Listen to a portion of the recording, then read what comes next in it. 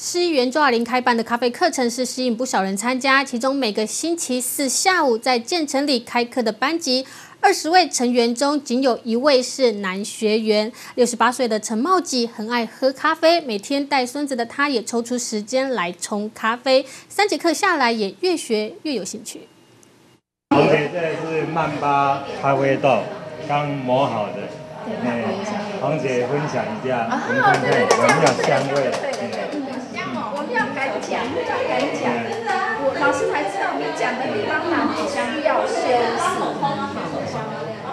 上一节教过的虹吸式咖啡，今天再复习学冲一次。从磨豆开始介绍，尽管班上青涩都是女学员，但是已经当阿公的陈茂锦一点也不怯场。接着回到位置上，开始一个步骤一个步骤慢慢来。每天都和太太是会喝上一杯咖啡，所以这次他就特地报名参加。想不到越学越有趣。平常每天。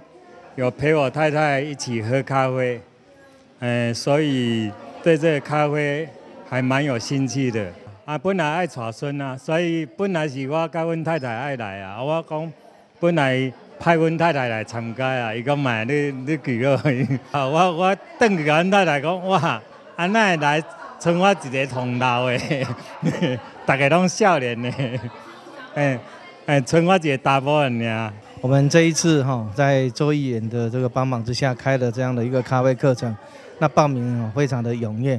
那这课程里面呢，唯一的有一位阿公的男性哈，这个阿阿公哦来来报名参加。啊，其实我看到学员这边哦，这几个礼拜下来哈，上课他们都很有心得。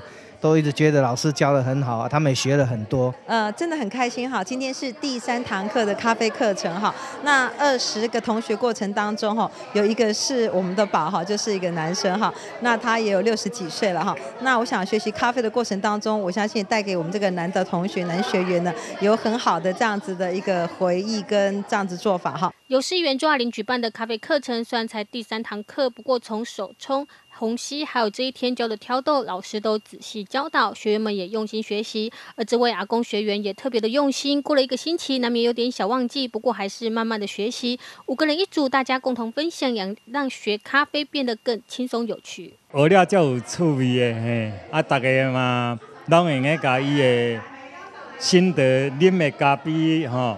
的口味跟分享，呃，困难是因为这咖啡拢加减有有某个，所以唔是讲遐困难啊，只是说久若无泡吼，有时啊会袂记的这步骤啊，但是各各老师各讲者嘿。有弄一个记起来。那今天老师让我们教到挑豆，如何挑豆哈？那呃下个礼拜真的很开心、很喜悦的是，老师要教我们如何烘豆。那在这个咖啡课程的这样子的一个领域过程当中，让我们学习到如何喝咖啡、品茗咖啡，而且还有认识咖啡。呃，也谢谢我们的 Candy 老师哈，这三堂课来对我们这么用心。经常喝咖啡，但是活到老学到老，自己动手冲，拿给老师试喝，评价似乎还不错。也希望接下来的课程和大家一起学习更多咖啡的知识还有技巧。这陈慧琳，细致采访报道。